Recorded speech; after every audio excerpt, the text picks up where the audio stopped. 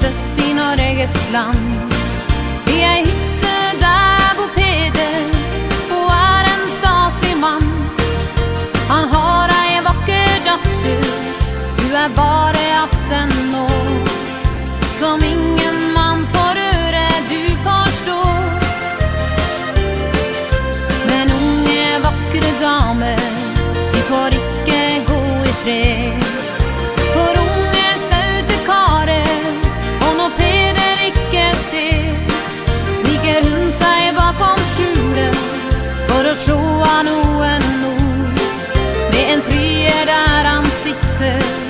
Jetzt kann man schieten gut.